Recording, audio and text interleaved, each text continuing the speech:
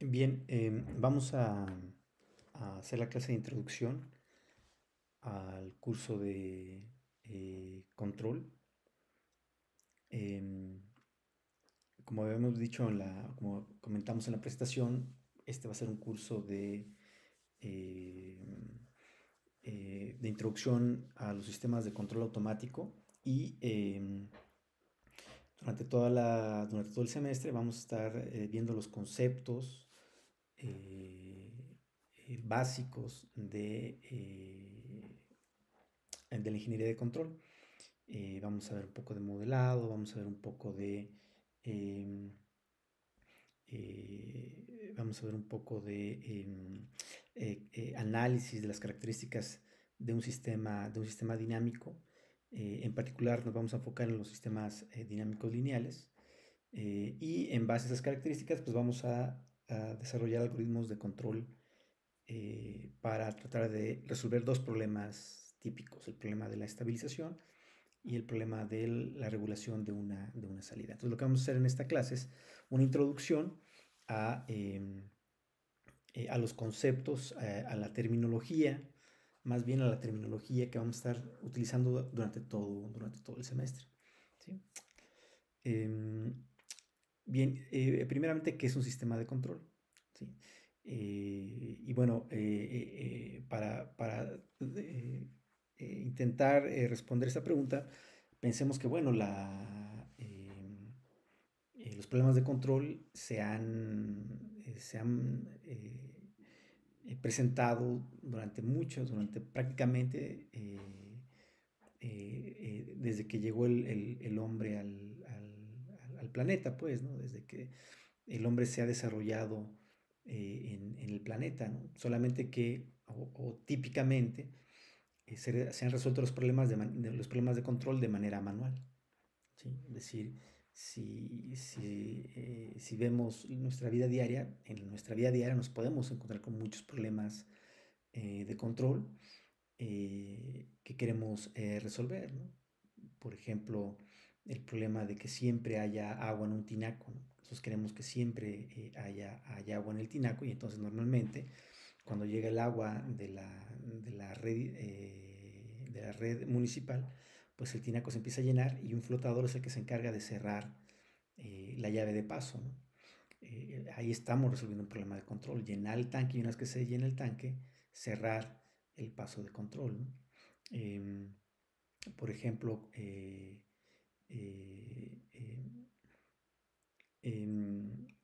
si queremos eh, por ejemplo, ir a, ver un espectáculo, normalmente, un, eh, por ejemplo, ir al cine, ir al teatro, etc., pues normalmente nos, nos, eh, colocamos en una posición en la cual estemos más cómodos. Entonces ahí estamos resolviendo un problema de optimización, Y un problema de optimización también se puede considerar como un problema de, control. Por ejemplo, si estamos en una casa y estamos en un día muy caluroso, pues normalmente queremos sentirnos más, eh, eh, más eh, cómodos. Y una manera de sentirnos más cómodos pues es, por ejemplo, prender un ventilador o prender el aire acondicionado para tratar de regular la temperatura de la habitación. Ese es otro problema, problema de control. Que nos podemos encontrar, por ejemplo, en, nuestra vida diaria. Pero, por ejemplo, también en el, área en, el, ámbito de los transportes, pues también existen muchos problemas de control que hay que resolver, por ejemplo, regular la altura y la velocidad crucero de un avión, son problemas típicos de, de, control, o por ejemplo las paradas de un tren. Muchas veces, hay, muchos lugares en donde ya los trenes, por ejemplo, ya no llevan conductores. Los trenes eh, están automatizados y saben dónde hay una parada, dónde se tienen que parar, cuánto tiempo esperan la parada, cerrar las puertas y continuar con el viaje. Son problemas de control. En la industria, por ejemplo, existen muchos eh, procesos que requieren ser eh, optimizados para tratar de maximizar la producción eh, que se esté llevando a cabo o minimizar los costos de esa producción. Entonces, esos problemas de optimización también se pueden ver como problemas de control, ¿no? Control de búsqueda de extremos, por ejemplo, ¿no? Existe una, una estrategias de control que se encargan de tratar de encontrar los extremos de una función objetivo, ¿no? Y esos extremos pueden ser o un máximo o un mínimo, ¿no? ¿Sí? Entonces, em, para resolver este tipo de problemas, pues requerimos eh, eh, implementar pues un, sistemas de control, sistemas de control automático que nos permitan alcanzar ciertos objetivos, ¿no? Eh, ciertos objetivos que les llamaremos de control de manera automática. ¿Sí? porque nosotros podemos resolver un problema de control de manera eh, manual, pero también de manera automática. Y en particular en este curso, pues vamos a estar interesados en diseñar algoritmos de control para, para automatizar eh, sistemas de, de, manera automática. ¿sí? entonces, de manera simple, podemos decir que un sistema de control es un sistema que está formado por varios subsistemas que intenta resolver un objetivo de control, un, objetivo de automatización, regular la temperatura en una, habitación, regular eh, la velocidad de un vehículo, em, alcanzar un valor extremo en un proceso, no sé, maximizar una productividad, eh, o minimizar los costos de producción o el tiempo de producción, etc. Entonces, un sistema que es capaz de, eh, resolver ese tipo de problemas, de alcanzar un conjunto de objetivos eh, de control, pues le, le, llamaremos un sistema de control automático. ¿Qué es un sistema? Bueno, pues un sistema es un conjunto de dispositivos que trabajan en conjunto como partes de una red interconectada. Tenemos un sistema que eh, puede estar formado por un conjunto de subsistemas y cada uno de esos subsistemas van a trabajar en conjunto, como lo vamos a ver más adelante, eh, como parte de una, una, red que se interconecta, que, interconecta cada uno de estos dispositivos para alcanzar un objetivo en particular. En nuestro caso, pues objetivos de control. Eh, nosotros vamos a estar interesados con, con procesos industriales eh, vamos a estar interesados en tratar de resolver problemas de control para, para la industria. Eh, y pues los procesos con los cuales vamos a estar interesados, pues va a ser un conjunto de eh, procesos que pueden ser mecánicos, eléctricos, químicos, físicos, económicos, biológicos. Y la idea de ese, de ese proceso, pues va a ser, o el objetivo de ese proceso, va a ser obtener un producto, ¿no? obtener un, un resultado tangible, ¿no? Eh, como lo comentamos eh, hace unos momentos, pues vamos a estar interesados en sistemas dinámicos, sistemas que van evolucionando con respecto al tiempo, ¿no? Y para eso, pues primero tenemos que definir qué es una, qué es una dinámica. Una dinámica es, digamos, una fuerza que estimula un cambio o un progreso en un sistema. Si es, digamos, eh, de manera general, la dinámica es una inercia que estimula un cambio o un progreso en un sistema, una evolución en un sistema. Es decir, esto nos lleva a la definición de sistema dinámico. Un sistema dinámico, pues es, como lo habíamos comentado, caracterizado por una evolución, por una actividad, por un cambio, por un progreso continuo, que va haciendo que el estado del sistema vaya evolucionando, vaya cambiando continuamente a lo largo del tiempo hasta alcanzar un estado estacionario, ¿no? puede ser que el, sistema nunca alcance un estado estacionario eh, y que su evolución lo lleve a progresar indefinidamente. Y bueno, vamos a definir eh, más adelante qué significa esa característica. Eh, pero normalmente los sistemas dinámicos alcanzan un estado en el cual ya ese estado no cambia, ¿no? Ese estado le llamaremos un estado estacionario. Se estaciona el estado del sistema y ya no cambia.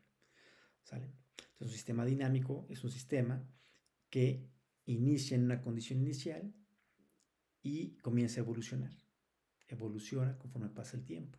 ¿sí? Va cambiando, el estado de ese sistema va cambiando, ¿no? va progresando conforme el tiempo avanza. Bien, ¿cuáles son eh, los componentes básicos de un sistema de control? Bueno, pues tenemos un sistema de control y el sistema de control como entrada requiere un conjunto de objetivos de control y como salida vamos a obtener un conjunto de resultados de control. Y la idea es que esos resultados alcancen los objetivos que nos planteamos. El sistema de control tiene que ser tal que le tenemos que proponer un conjunto de objetivos a alcanzar y el sistema de control tiene que eh, e-, evolucionar conforme pasa el tiempo para alcanzar esos objetivos y esos objetivos los vamos a ver a la salida como resultados. Bien, eh, a lo largo del curso vamos a estar trabajando con sistemas en lazo abierto y con sistemas en lazo cerrado. Si un sistema en lazo abierto es un sistema el cual tiene entradas y simplemente genera un conjunto de salidas. Por ejemplo, tenemos un proceso el cual le inyectamos un conjunto de señales de control y ese conjunto de señales de control van a modificar un conjunto de variables de control o variables controladas. Entonces ahí tenemos un simple lazo abierto. Podemos diseñar un controlador en lazo abierto en el cual apliquemos un conjunto de entradas de referencia a ese controlador, es decir, un conjunto de objetivos. Y el controlador tiene que proponer las señales del control para que el proceso evolucione y genere un conjunto de variables controladas que permitan eh, eh, alcanzar los objetivos de control. Es decir, nuestras variables controladas van a ser el resultado y nuestras entradas de referencia van a ser nuestros objetivos. Este controlador en lazo abierto tiene que proponer un conjunto de referencias que traten de llevar el proceso o las variables controladas del proceso a, eh, eh, a, un valor de, eh, de salida que alcance la referencia de interés, ¿no? un conjunto de resultados que alcancen el valor de los objetivos. Un ejemplo típico de sistemas de control en lazo abierto pues es una lavadora. Una lavadora, cuando nosotros vamos a lavar la ropa, simplemente metemos la ropa, eh, le indicamos qué ciclo, en qué ciclo queremos que lave, ropa blanca, ropa de color, ropa delicada, ropa para bebé, y echamos a andar la lavadora. Entonces nuestra referencia es, eh, nuestro objetivo de, eh, de control es que, que la ropa esté limpia, y el controlador de la lavadora pues emite las señales de control, es decir, le dice al motor que, que, gire cada determinado tiempo, que enjuague, que, este, que, seque, que exprima, etc. Y, la idea es que esas señales de control lleven a que la, eh, la ropa al final esté, esté, esté limpia, ¿no? ¿Sí? Pero no hace más, ¿no? es decir, no, no, tiene una manera de comparar si el objetivo se cumplió. Simplemente eh, nosotros esperamos que cuando termine el ciclo de lavado de la lavadora, pues la ropa esté, esté, esté limpia, ¿no? decir, eh, los resultados sean los que, nos, los que nos planteamos en los objetivos, pero no los comparamos. ¿no? tenemos un sistema en lazo abierto. Em, por el contrario, eh, tenemos otro esquema de control, se llama sistemas en lazo cerrado en el cual ahora sí hacemos una comparación. Las variables controladas, es decir, los resultados, los medimos a través de un sensor o un transductor y los comparamos con las señales de referencia, con los objetivos. Entonces aquí en este esquema, si se dan cuenta, retroalimentamos los resultados y los comparamos con los objetivos. Retroalimentamos las variables controladas y las comparamos con, la entrada, con las entradas de referencia. Estamos comparando el resultado con el objetivo. Y esa comparación nos genera una señal de error. Y esa señal de error es la que entra al controlador. Y ese controlador tiene que proponer las señales de control para que ese error que está entrando eh, tienda a cero en estado estacionario, tienda a cero conforme el tiempo avance, conforme las dinámicas de este sistema de control en lazo cerrado avancen, las, eh, eh, la señal de error tiene que ser la señal de error tiene que ser, tiene que tender a cero, ¿sale? Entonces, este esquema de control es más, eh, digamos, es más útil, ¿sí? Porque en, este sí hacemos una comparación entre los resultados y los objetivos, ¿sí? Y el controlador, el objetivo del control es hacer que los resultados sean exactamente igual a los objetivos que nos planteamos, que las variables controladas sean exactamente iguales a las entradas de referencia, que alcancemos los objetivos de control. ¿sale? ¿En qué ayuda esa retroalimentación? ¿Sí? La retroalimentación que planteamos, eh, retroalimentar las variables controladas hacia la entrada para hacer una comparación con las entradas de referencia. Digamos, ese, ese, ese lazo que estamos cerrando se conoce como una retroalimentación, estamos retroalimentando eh, las variables controladas del proceso hacia la entrada para hacer la comparación con la referencia. Entonces, ¿qué obtenemos con esa retroalimentación? Bueno, pues precisamente tratar de hacer que el error tienda a cero conforme las dinámicas del sistema avanzan, conforme estas dinámicas evolucionan. ¿sí?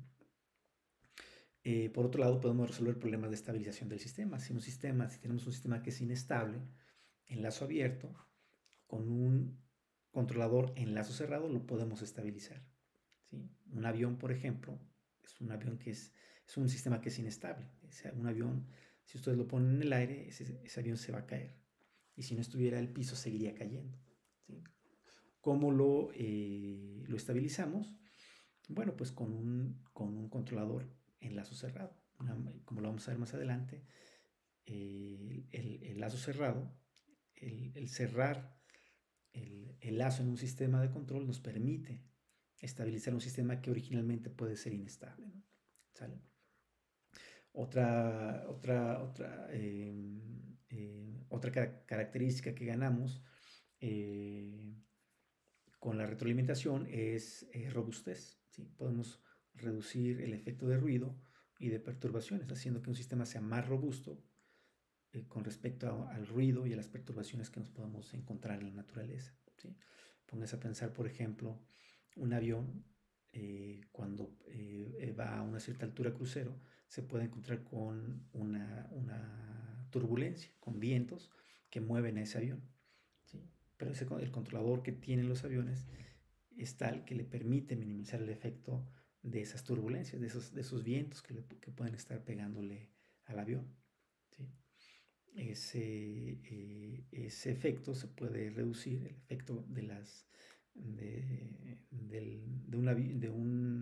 una, corriente de aire, de una turbulencia que está pegando un avión, se puede reducir por medio de la, de la, de la retroalimentación. Y también esa retroalimentación nos permite eh, ganar robustez con respecto a, los, a, las incertidumbres paramétricas de un modelo. Muchas veces eh, la manera en cómo resolvemos un problema de control es utilizando un modelo. Y ese modelo tiene un conjunto de parámetros, del cual, eh, los cuales permiten caracterizar un sistema dinámico. Un sistema dinámico lo podemos caracterizar a través de un modelo pero un sistema dinámico en particular a través de los parámetros de ese modelo. ¿sí? Y resulta que esos parámetros son una aproximación a los parámetros de la realidad del sistema. ¿sí?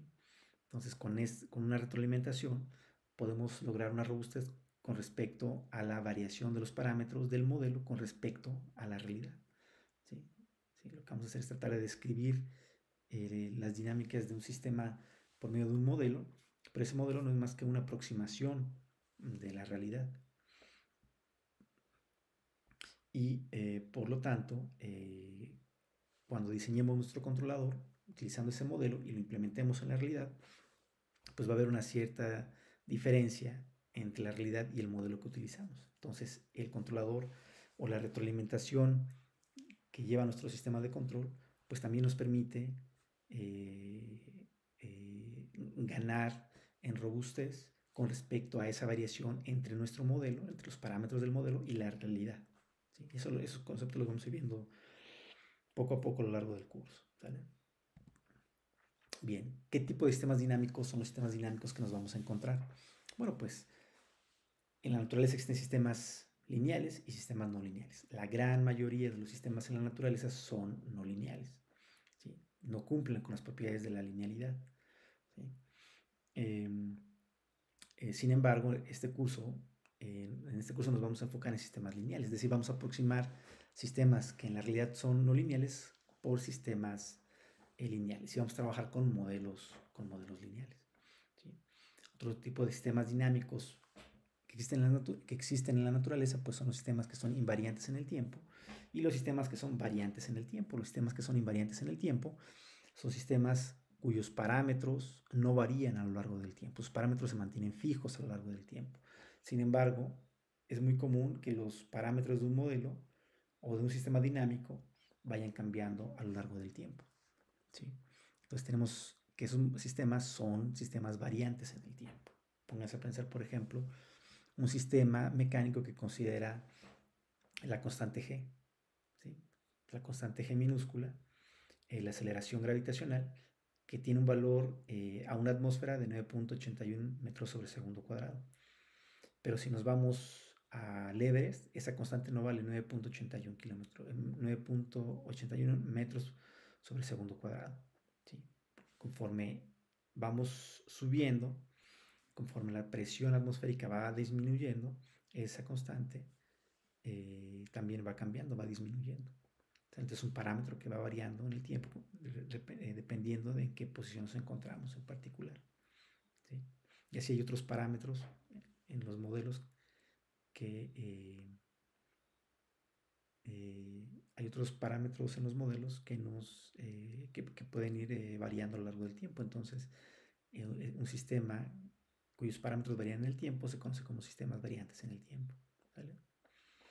También tenemos sistemas en tiempo continuo y sistemas en tiempo discreto. Hay sistemas cuyas dinámicas varían en tiempo continuo, como casi todos los sistemas en la naturaleza, pero también hay sistemas que eh, varían en tiempo discreto, es decir, que sistemas eh, cuyas variaciones se dan en instantes de tiempo discretos. Por ejemplo, un, microprocesador.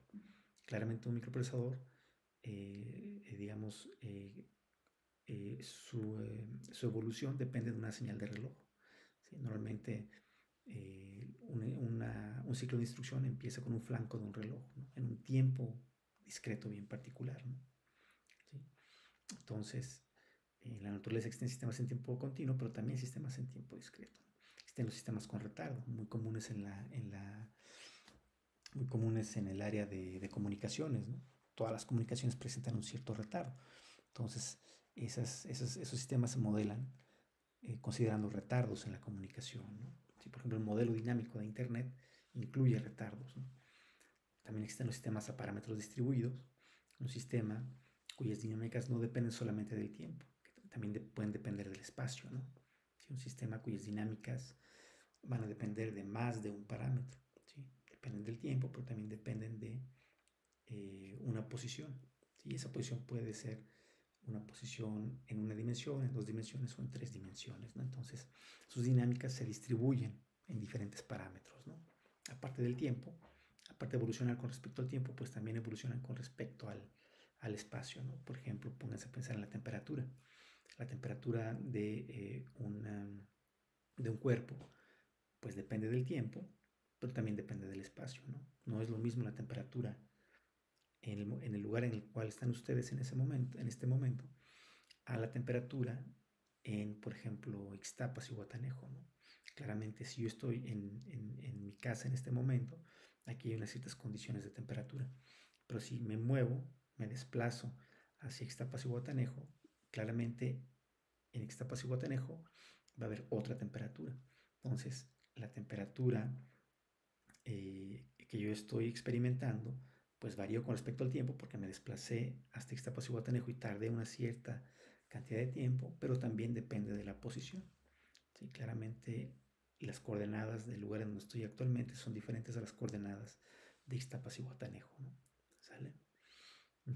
Entonces, esa, esa temperatura, la, temperatura que estoy experimentando, pues está dependiendo, con de, eh, está dependiendo del tiempo, pero también está dependiendo de la posición. ¿sí? Y otro tipo de sistemas muy comunes pues, son los sistemas fraccionales, sistemas cuyas dinámicas no se eh, representan por medio de derivadas eh, eh, enteras, sino de, derivadas fraccionales. hay, ciertos sistemas en la naturaleza cuyas dinámicas no se representan por medio de ecuaciones diferenciales en derivadas enteras, sino de ecuaciones en derivadas parciales, fraccionales, perdón. Em, por ejemplo, hay capacitores, El capacitor, eh, las, dinámicas de un capacitor normalmente se modelan por medio de, de, ecuaciones diferenciales en derivadas enteras, pero un supercapacitor es un dispositivo electrónico cuyas dinámicas se modelan mejor por medio de eh, ecuaciones en derivadas fraccionales. ¿Sí? Bien, en general, ¿cómo se ve un sistema de control? Un sistema de control, como lo vimos, eh, un sistema de control en lazo cerrado, normalmente tenemos un, eh, un controlador que, controla el proceso y las salidas del proceso se retroalimentan al, eh, controlador para comparar, em, para comparar las entradas con las, con las salidas, los objetivos con, los resultados para ver que se, eh, que se, que se cumplan esos objetivos. Sin embargo, en, em, em, sin embargo, en la gran mayoría de los de las aplicaciones de control en la actualidad, los sistemas de control se implementan en sistemas digitales. Eh, y la gran mayoría de los sistemas en la naturaleza, pues son sistemas en tiempo continuo. Entonces, eh, eh, hay una manera de, digamos, de interfazar el mundo digital, el mundo de las computadoras digitales o el mundo de los controladores digitales con el mundo real, que puede ser, y en la gran mayoría de los casos, es un sistema en tiempo continuo, ¿no? Entonces vemos que un sistema completo normalmente tiene el proceso que queremos controlar, pero las variables que queremos controlar las medimos a través de un sensor y ese sensor, la medida de ese sensor la pasamos a un convertidor analógico digital para eh, hacer la comparación con los objetivos en un, en un controlador en digital, una computadora digital, un microprocesador, eh, un microcontrolador, un DSP, un FPGA. Y el controlador que tengamos implementado en ese sistema digital nos va a permitir generar las señales digitales que tenemos que eh, convertir a una señal analógica a través, de, a través de un convertidor digital analógico, de manera que esa información se la pasamos a un actuador para que, como su nombre lo indica, actúe sobre el proceso, inyecte las señales de control que hagan que las dinámicas de ese proceso vayan al estado de interés, así que los resultados sean los objetivos que yo me planteé, así que las salidas controladas alcancen las entradas de referencia que yo deseo. Entonces, en general, de manera simple, un, sistema de control completo incluye estos, eh, em, estos subsistemas que vemos en, la figura eh, eh, mostrada. Y em, en particular en este curso vamos a, a analizar em, cómo diseñar un controlador que actúe sobre un proceso para alcanzar los objetivos, para que el proceso alcance un estado tal que los objetivos de control se cumplan. En un siguiente curso, en un, curso de control digital, se, ve cómo, eh, se analiza cómo eh, se puede interfazar el, mundo en tiempo continuo con eh, el mundo en tiempo discreto para implementar un controlador en, en una computadora digital y automatizar un proceso que puede ser, que puede vivir en tiempo continuo. ¿no? Bien, ¿dónde se aplica el control? Prácticamente el control se aplica en todos lados. En la mecánica, en la eléctrica, en la química, en la biotecnología, en la economía. El problema de regular la inflación de un país es un problema de control. Eh, em, eh, en la aeronáutica, por supuesto. ¿sí? Eh, los aviones tienen mucha ingeniería de control. un cohete, un satélite tiene mucha ingeniería de control. En la agronomía, no se diga. Cómo hacer que eh, un, cultivo eh, incremente su productividad, ¿sí? alcance su máxima productividad, son problemas de control. Sociología, sociología, hay, hay em, eh, congresos de la Federación Internacional de Control Automático que se tratan precisamente de estabilización de sociedades, de cómo resolver problemas de estabilización en una sociedad. son problemas de control muy, muy interesantes. Y etcétera. En la informática, en la computación también hay muchos problemas de control. Prácticamente en cualquier lugar eh, donde, donde nos encontremos, eh, vamos, a, vamos a encontrar con problemas, nos vamos a encontrar con problemas de control. Y como ingenieros de control, pues nuestra, eh, digamos, nuestro objetivo es resolver esos problemas de control. Muchas eh, de las aplicaciones de, control eh, se basan en eh, resolver problemas de estabilización. Si, un, si, un, sistema es inestable, ¿cómo lo estabilizamos? Un avión, por ejemplo, ¿cómo logramos que se mantenga a una cierta altura crucero y una cierta velocidad crucero? Es un problema básico de, la ingeniería de control, ¿no? Cómo estabilizar un sistema dinámico. Pero también hay otras aplicaciones como los sensores por software. Si hay una variable que sea muy difícil medirla por medio de un sensor, que, el sensor no exista o que el sensor sea muy, muy caro, un problema de control es tratar de construir un sensor por software. Es decir, diseñar un algoritmo que yo pueda implementar en un sistema de cómputo que me permita, a través de un conjunto de variables que yo sí puedo medir, tratar de estimar el valor de otras variables. Si una variable que yo no pueda medir, la trato de estimar utilizando otros sensores. Entonces utilizo un subconjunto de sensores para tratar de estimar el estado de un sistema dinámico. Un sistema puede estar modelado por muchas variables, un conjunto de variables, y de esas variables solo puedo, solamente puedo medir un subconjunto a través de un sensor. Bueno, pues yo puedo estimar el, el, estado completo de un sistema dinámico por medio de un sensor por software. ¿Sale? Pero también tenemos el problema de regulación de una salida. Por ejemplo, yo quiero que un avión se mantenga a una cierta altura de manera constante, entonces estoy resolviendo un problema de regulación. Yo me mantengo regulando la salida en un valor constante, ¿no? pero también tenemos el problema de un, del seguimiento de una señal. Por ejemplo, si yo quiero llegar de León a Tijuana, pues existen ciertas rutas aéreas, ¿no? Un avión sigue una cierta ruta que, le da, que le va dando esa ruta, se la va dando el GPS. Entonces, un problema de control es seguir esa ruta, que el avión siga la ruta aérea que le, que le, que le indica la ruta eh, eh, predeterminada para los aviones de, desde eh, León hasta Tijuana, ¿no? Entonces es un problema de control típico, seguimiento de una señal. Seguir la ruta aérea de León hasta, hasta, hasta Tijuana, ¿no? Teleoperación. por ejemplo, si yo tengo que un, si yo tengo un reactor nuclear y necesito darle mantenimiento, pues nosotros los seres humanos es muy difícil que, eh, es muy difícil que eh, eh, podamos entrar a un reactor porque es muy peligroso. Entonces, muchas veces más bien se utilizan brazos mecánicos que hagan el trabajo de mantenimiento en, una, en un reactor nuclear y más bien esos, brazos, brazos mecánicos se teleoperan desde, una, desde un centro de cómputo. Entonces, esos problemas se conocen como problemas de teleoperación y se resuelven por medio de técnicas de control. ¿sí? La optimización de procesos industriales. ¿no? Yo quiero maximizar la productividad de un proceso. Ese problema es un control de búsqueda de extremos, un problema de optimización en línea.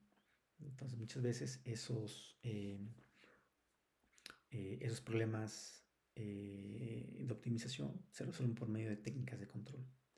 Detección de fallas. Yo quiero detectar fallas en un proceso o en un sensor, por ejemplo, que esté midiendo correctamente una variable en particular, bueno, pues también puedo diseñar estrategias de detección de fallas, que son algoritmos de control. Un diferenciador. Si yo quiero sacar la derivada de una señal, em, muchas veces tenemos que diseñar un diferenciador. Y ese diferenciador eh, se em, ese diferenciador es otro algoritmo de control. Filtro, por ejemplo. Muchas veces el área de filtrado utiliza muchas técnicas de control. Entonces, eh, pues también está muy relacionada la parte de, la, parte de filtrado con, con, con control, con el área de control. ¿sale? Son algunas aplicaciones eh, típicas de, de, la ingeniería de control. ¿Qué estrategias de control existen en la actualidad? Bueno, pues el control clásico, que es el que más se usa en la en la industria, que incluyen a los controladores PID, eh, y, y, que es el, las, las, estrategias de control que vamos a ver aquí en, en este semestre, eh, pues es una, una, una, estrategia muy popular y muy robusta y muy eh, útil en la, en la, actualidad para resolver problemas reales en la industria. ¿no? Pero también existe el control robusto, ¿sí? para diseñar controladores que sean robustos con respecto a perturbaciones del sistema, incertidumbres, a ruido, que a pesar de, todas, eh, todas las perturbaciones que pueden, valga la redundancia, perturbar un sistema, el controlador siga funcionando. ¿no? Está también el control adaptable, es decir, controlador que se va adaptando a las circunstancias del sistema, cómo va cambiando el sistema, pues se va adaptando ese controlador. ¿no? Existe el control geométrico, ¿sí?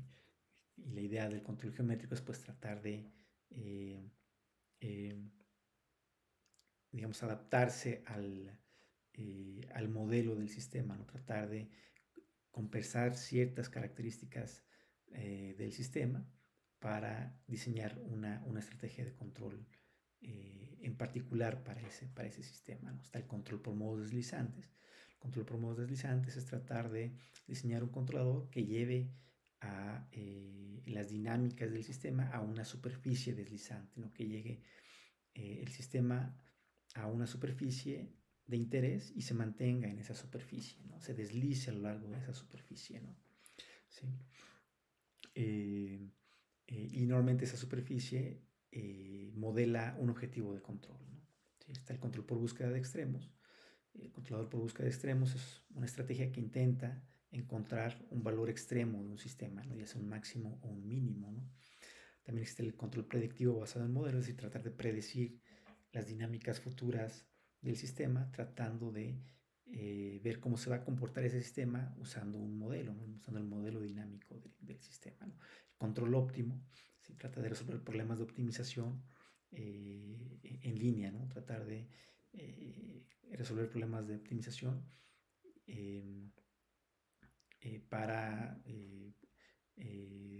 tratar de alcanzar una cierta dinámica del sistema. ¿no? Por ejemplo, si yo tengo una nave, y de hecho el control óptimo se, se desarrolló mucho durante la, la, la, la, carrera espacial, si yo tengo una nave que tiene que ir de la Tierra a la Luna, ¿cómo optimizo el combustible para que la nave llegue precisamente desde la Tierra hasta la luna y tenga combustible para regresar, ¿no? Son problemas típicos de, control óptimo, ¿no? Y pues eh, así existen otros, otros tipos de estrategias, ¿no? Estos nada más son algunos, algunos ejemplos, ¿no? ¿Sí? Y bueno, con esta, con esta diapositiva eh, terminamos esta presentación. Em, eh, y pues en un rato más, durante la, la sesión de, de dudas, pues podemos ahondar un poco en, en, las preguntas que tengan ustedes, ¿no? Muy bien. Bueno, entonces aquí lo dejamos y nos conectamos en un rato para la sesión de dudas.